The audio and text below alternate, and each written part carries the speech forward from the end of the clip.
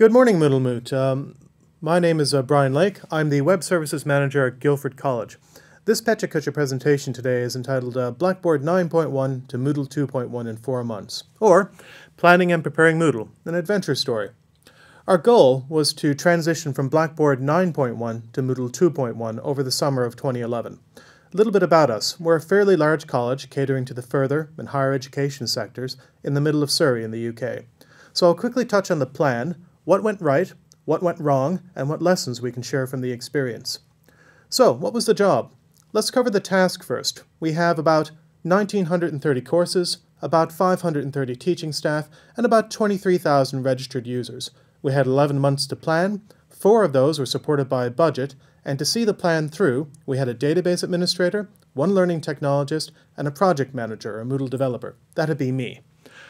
Our liabilities were that we didn't have any existing training staff for e-learning.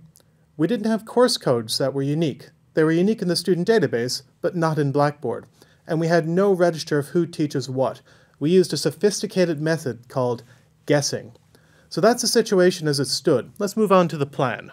The technical elements and the timelines weren't the main issues. Getting the institution, its managers, its teachers, and its students on board were. The first job in any Moodle transition is to do the research.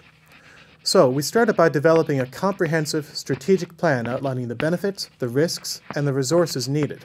This is a fairly time-consuming and intensive task that requires strong planning, careful consideration, and a combination of interviews and surveys followed up by the business rationale.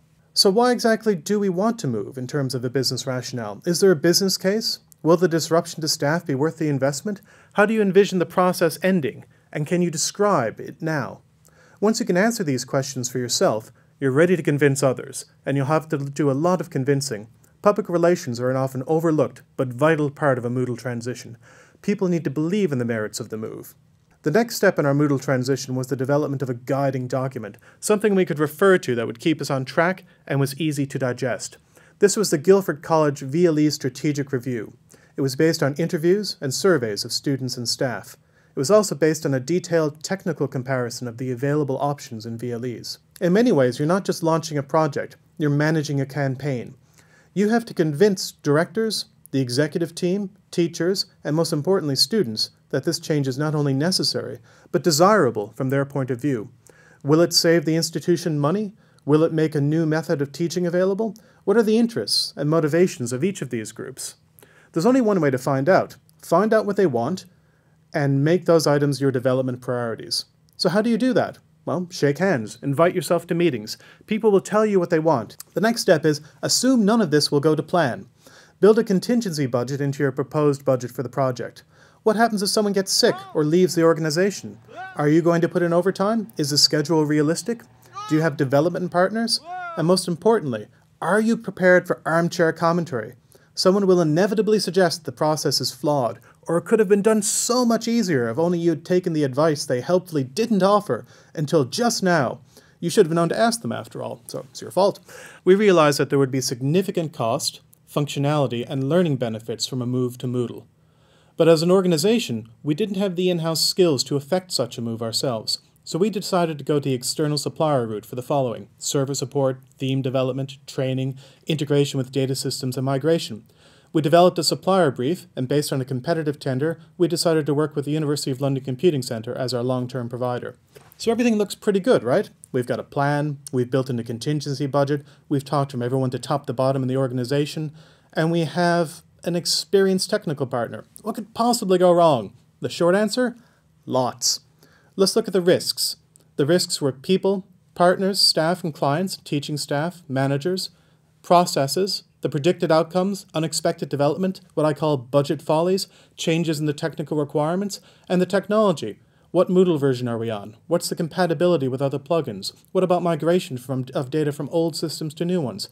How do we use the new systems? What actually happened? Well, in this project, our partner was overwhelmed and they had what they confessed was a disastrous summer, so they were unable to deliver our themes, training, or technical familiarization for staff, or the migration of our data but they did invoice for us for them. So this is bad, right? Not really, because as it happens, the budget was frozen due to a technicality, and the only director who could unfreeze it was on holiday. But that's all that could go wrong, right? Well, actually, we lost a staff member. Director started announcing that one day orientation sessions were teacher training programs, and our technical partner was taking him about a month to answer our basic support.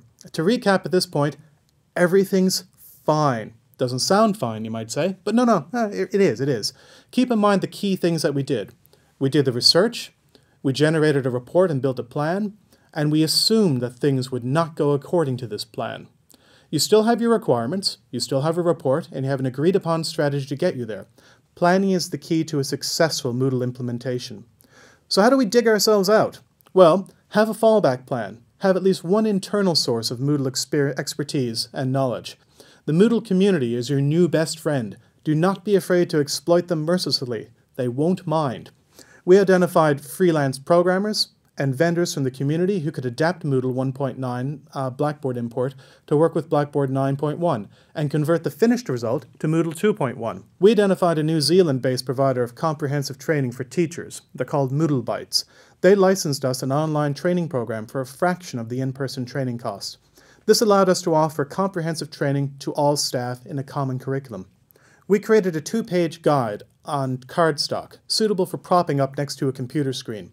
These were distributed at all libraries and reception desks at our three campuses. We essentially gave them out like candy at all staff briefings. And so, where are all the technical bits in this presentation? What did we accomplish? Do the numbers really matter? Well, yes and no. The detailed technical problems did arise, and they had to be solved. But surprisingly, these were the easiest issues to deal with. You can hire temporary help, or you can build a project team to deal with this, or you can walk into your contractor's office and sit there until they explain themselves and commit to do the job. These are relatively easy problems to manage. But the main thing is that perceptions count. What you cannot do is define or dictate social perceptions. Consensus building and relationship maintenance have to go on throughout the project. Allies must be identified who'll support you. Critics must be addressed without your being confrontational as a reflex, and legitimate complaints must be recognized, addressed, and resolved. One quick example, we created a successful method for migrating materials with about a 95% accuracy rate. However, it didn't mimic the structure of Blackboard, so a certain amount of tidy-up was necessary in each course to reorganize material. Because the 500-odd staff weren't adequately prepared for this when the project was launched, there was a widespread perception that the project hadn't gone that well. This is a good example of technically succeeding, but socially failing. All the systems worked, and designed as they were, the take-up was excellent. But the teachers hadn't been prepared for what success might look like, so debate raged and there was no broad agreement on what it should look like and what they were reasonably expected to do. It was difficult and therefore bad. So, the lesson in the end is that there's a balance in the Moodle project, technical and social. You're building a highly complex system, but the end users desire simplicity and continuity. They want the system to work like before, except better. The real challenge of a Moodle migration is ensuring that the perceptions of the system match your ambition. And that's it. Thanks very much. Uh, sorry I couldn't be there with you today, uh, but I hope you have a great conference and hope to see you next year.